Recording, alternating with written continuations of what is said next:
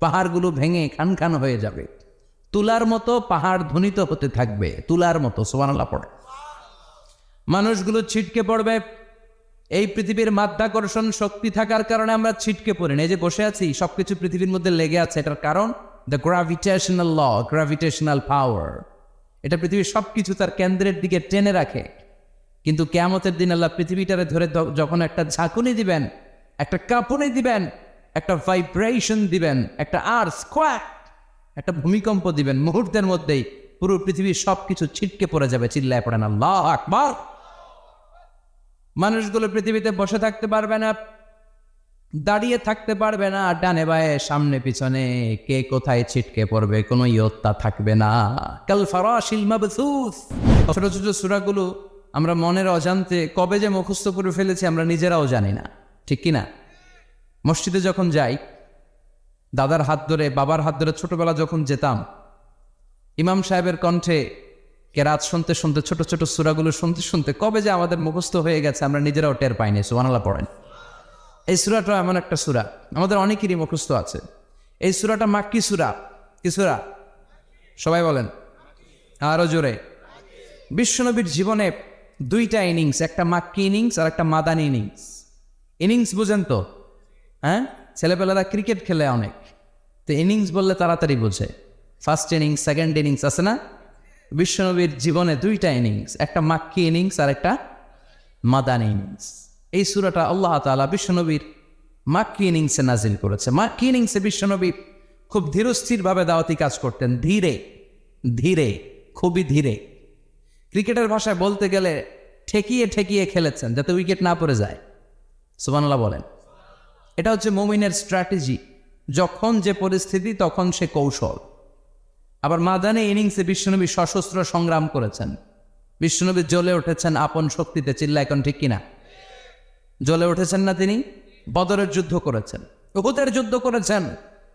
খন্দাকের যুদ্ধ করেছেন। সশস্ত্র সংগ্রাম রক্তক্ষয়ী সংগ্রামের মধ্য দিয়ে কালিমার পতাকা মদিনার জামিনে উড়িয়েছেন চিল্লা এখন ঠিক কিনা? তো এই সুরাটা বিষ্ণুনবীর মাক্কি ইনিংসে নাজিল হওয়া একটা সুরা। এই সুরার আয়াত সংখ্যা হচ্ছে এগারোটি। কয়টি? সবাই বলেন কয়টি? তো এই সুরায় আমরা কি জানতে পারব? এই সুরাতে আল্লাহ তালা কেয়ামতের বর্ণনা দিয়েছে কেয়ামতটা যেদিন হবে, ওই দিন গোটা বিশ্বব্যাপী আমাদের পরিস্থিতি কি হবে, এটার একটা নকশা আল্লাহ এই সুরাতে এঁকে দিয়েছে। নিজে এই সুরার নকশা এঁকে দিয়েছে। কেয়ামতের প্রামাণ্য ধারা বর্ণনা আল্লাহ নিজে দিয়েছে। এই সুরাটা পড়লে মনে হবে আপনি এখানে বসেই ক্যামতটা সচক্ষে লাইভ দেখতেছেন। সুবানাল্লাহ পড়বেন না? সুরাটার নাম হচ্ছে আল কারিয়া কি নাম? সবাই বলেন কি নাম? আল কারিয়া মানে হচ্ছে বিকট আওয়াজ ভয়ঙ্কর আওয়াজ জাইগান্টিক সাউন্ড বোম্বাস্টিং মার্কা সাউন্ড যে সাউন্ড যে আওয়াজ যে বিকট শব্দ পৃথিবীর কোনো মানুষ শোনে নাই। The trumpet the siren the whistle বিশাল এক উইসেল বাজানো হবে। ওই উইসেল বা সাইরেন বাজানোর ফলে বিকট একটা শব্দে গোটা বিশ্ব ভেঙে খান খান হয়ে যাবে। এটার নামই হচ্ছে আল কারিয়া চিল্লা এখন সুবাহান আল্লাহ ওই হুইসেল দেওয়ার জন্য, ওই সাইরেন বাজানোর জন্য, ওই সুরের ভেতরে, সিঙ্গার ভেতরে ফুৎকার দেওয়ার জন্য রব্বুল আলমিন স্পেশাল একটা ফেরেস্তা বানিয়েছেন, তার নাম হলো ইসরাফিল আলাইহি ইসলাম কি নাম? ইসরাফিল আলাইহি ইসলাম এদিকে ইসরাফিল নামে কেউ আছে? হ্যাঁ? অনেকে রাখে, ইসরাফিল নামটা কিন্তু অনেকে রাখে। আজরাইল রাখে নাকি? হ্যাঁ? আজরাইল রাখে না, ইসরাফিল কিন্তু রাখে। তো এই ফেরেশতাকে আল্লাহ তাআলা বিশাল একটা হুইসেলের ভিতরে, সাইরেনের ভেতরে তিনটা ফুৎকার দেওয়ার জন্য তৈরি করেছেন। তার ডিউটি হচ্ছে তার গোটা জীবন জুড়ে সে হুইসেলের ভেতরে তিনটা ফু দিবে। এটার বাংলায় বলে সিঙ্গা বাংলায় কি বলে? সিঙ্গায় ফু দিবে কয়টা? চিল্লায় বলেন। এই ফেরেশতার পা দুটো হচ্ছে জমিনে, এই ফেরেশতার মাথা হচ্ছে আকাশেরও অনেক উপরে। সৃষ্টির পর থেকে এই ফেরেশতা ওই সিঙ্গাটা ওই বাঁশিটা তার দুই ঠোঁটের মাঝখানে লাগিয়ে আল্লাহর আরসের দিকে তাকিয়ে আছে and just waiting for the green signal আল্লাহর পক্ষ থেকে সিগনাল আসার অপেক্ষায় আছে। যে আল্লাহ কখন বলবে যে ফু দে? সুবান কন। তিনটা ফু দেওয়ার জন্য রব্বুল আলমিন একটা ফেরেশতা বানালেন। ইসরাফিল ফেরেশতা সৃষ্টির শুরু থেকে বিশাল সিংহাটাকে, সাইরেনটাকে, ট্রাম্পিটটাকে দুই ঠোঁটের মাঝখানে লাগিয়ে আল্লাহর আরশের দিকে তাকিয়ে আছে। কবে আমার প্রভু বলবে, সাইরেনের মধ্যে বাঁশি বাজা।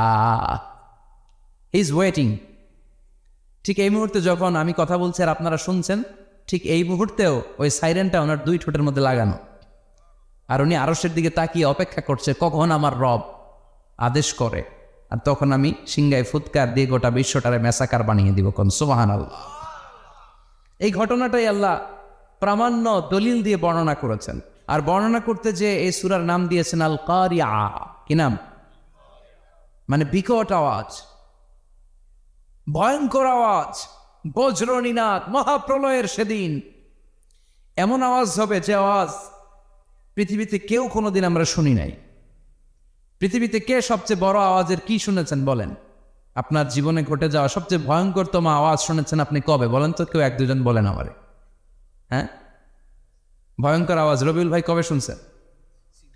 সিডরের সময়। হুজুরের সিডরের সময় ভয়ঙ্কর আওয়াজ শুনছে। সিডরের ভয়ঙ্কর আওয়াজ। হ্যাঁ কিসের আওয়াজ? বজ্রপাত।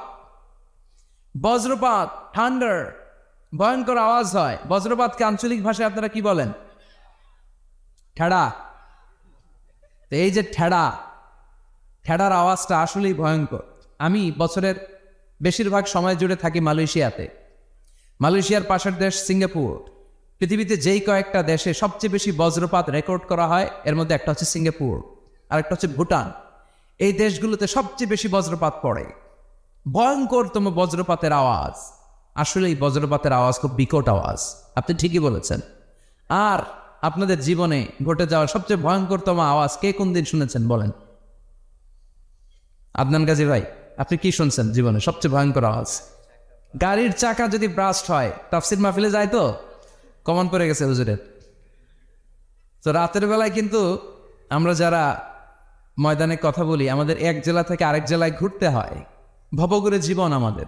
কোরআনের বাণীকে পৌঁছে দেওয়ার দায়িত্ব আমরা নিয়েছি। বাণীবাহকের কাজ আমাদের। তো রাত্রিবেলা মাঝে মাঝে আমরা এরকম ট্রাকের টায়ার পাংচার হলে বিকট আওয়াজ হয়। রিক্সার টায়ার পাংচার হলে বিকট আওয়াজ হয়। মানুষ ভয় পেয়ে যায়। আসলেই অনেক বড় আওয়াজ। আর জীবনে কে কে আওয়াজ শুনেছে আওয়াজ হয় কিসে? জেনারেটর যদি ব্রাস্ট হয় ট্রান্সমিটার যদি ব্রাস্ট হয় আওয়াজ হয় না? আওয়াজ হয়। হ্যাঁ? হেলিকপ্টার হ্যাঁ হেলিকপ্টার যখন ল্যান্ড করে তখনও ভয়ঙ্করতম আওয়াজ হয়। বিমান যখন টেক অফ করে ল্যান্ড করে ভয়ঙ্কর আওয়াজ হয়। এরপরে লোহার মধ্যে যদি হাতুড়ি দিয়ে পিটায় যখন তারা কাজ করে ভয়ঙ্কর আওয়াজ হয়।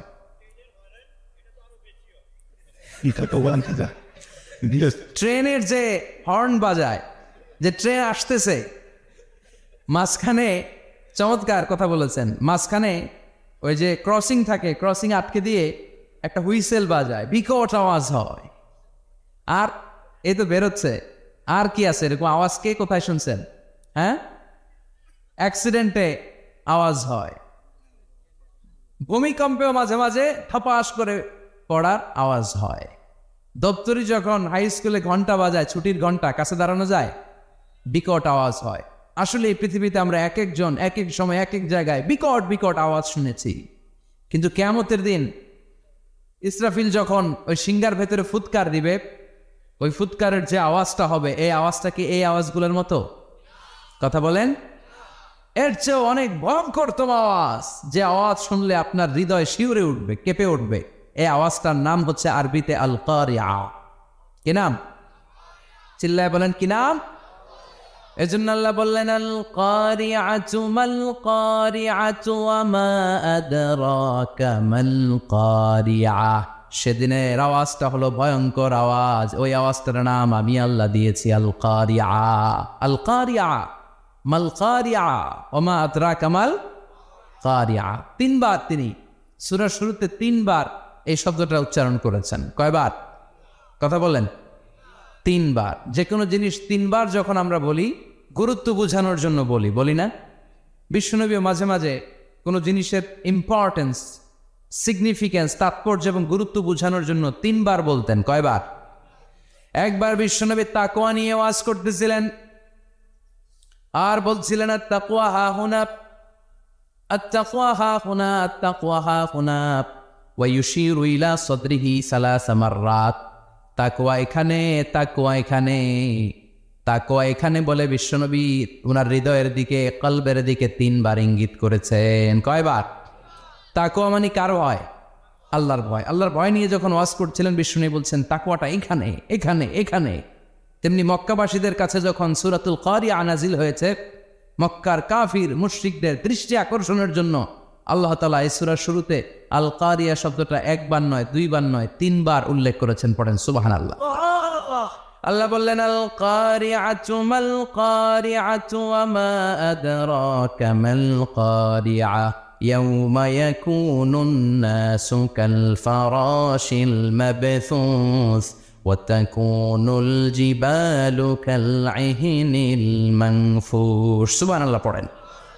আল্লাহ বললেন, বিকট একটা আওয়াজ হবে। তিনটা আওয়াজ করার জন্য, তিনটা হুইসেল বাজানোর জন্য ইসরাফিলকে আমি বানালাম। প্রথম সিঙ্গার, ফুৎকার যখন ইসরাফিল ফেরেশতা হুইসেলের মধ্যে দিয়ে দিবে, তখন যেই ভয়ঙ্কর শব্দটা হবে, ওই শব্দটার নাম হলো আল কারিয়া কি নাম? আল কারিয়া ওটা দেওয়ার সাথে সাথে পুরো পৃথিবীটা লন্ডভন্ড হয়ে যাবে। এখন আমরা যেরকম আরামসে বসে আছি, ওই সময় পৃথিবীর অবস্থা এরকম থাকবে? আল্লাহ বললেন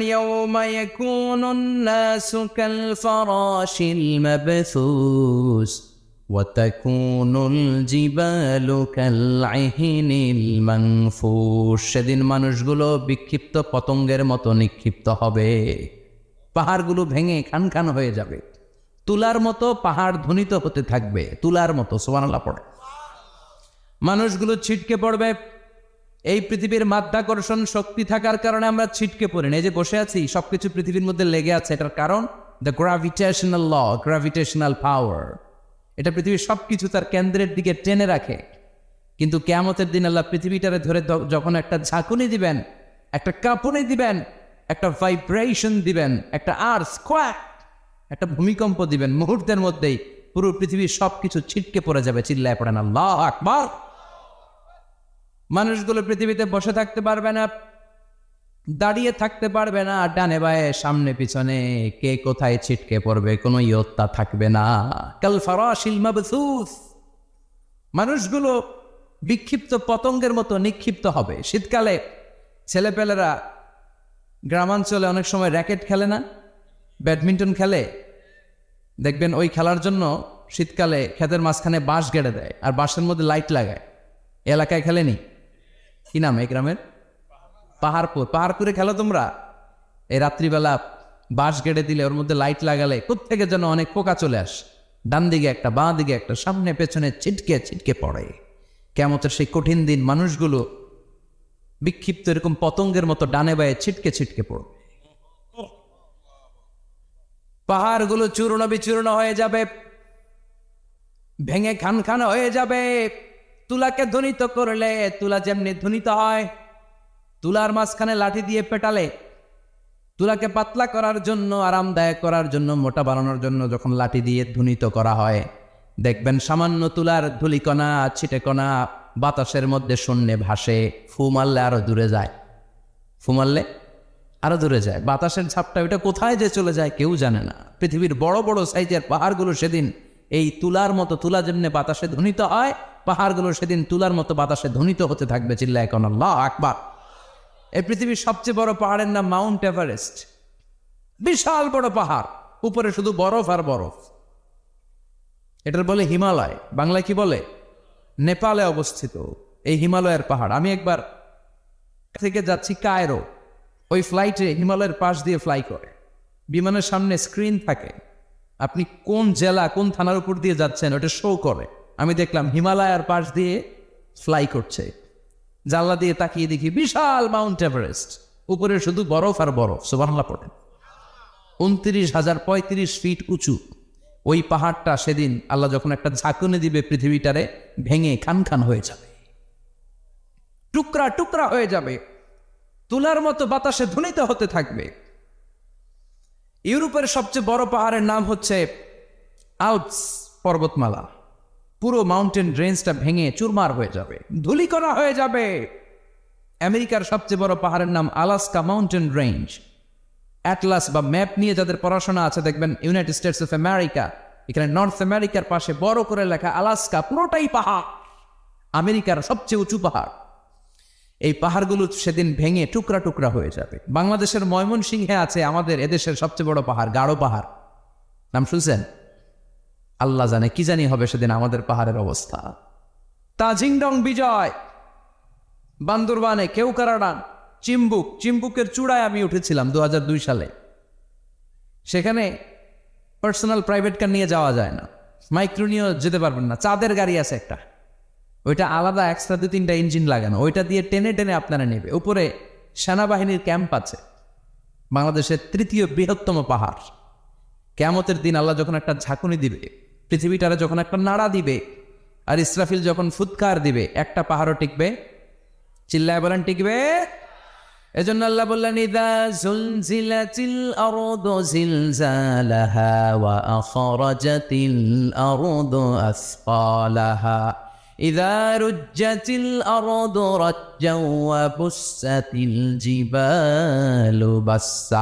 সেদিন যখন আল্লাহ একটা ভূমিকম্প তৈরি করবে পৃথিবীটাকে যখন নাড়িয়ে দিবে, কাঁপিয়ে দিবে, একটা পাহাড়ও টিকবে না, সবগুলো পাহাড় তুলার মতো ধুলিত হতে থাকবে। মানুষগুলো ছিন্ন বিচ্ছিন্ন হয়ে ডানে বায়ে ছিটকে পড়বে। চন্দ্র সূর্য আলো থাকবে না, মানুষের চোখগুলো ছানা বড়া হয়ে যাবে। ফাইদা সরুয়া